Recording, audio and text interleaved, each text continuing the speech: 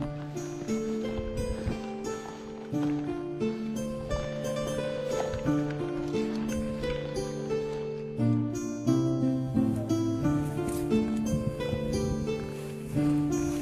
part of 2nd Battalion, 135th uh, General Support Aviation Battalion out of Colorado.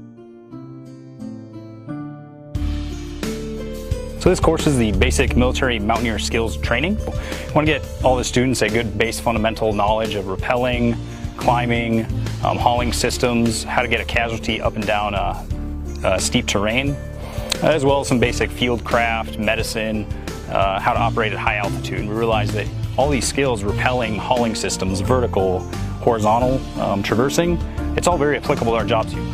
So we have people from Task Force MP, the medics, uh, aviation, the maneuver battalion, uh, basically a whole cross section of all of RC East is participating in this class. We're really teaching the basics, so the basic knots, principles behind everything, so whether they go back to their military unit or back to their civilian side, they know the base level and principles of how to be safe, um, how to be efficient, what type of gear to use, and so whether they're going with other people or on their own, that they'll be safe and not putting themselves in danger to themselves or other people.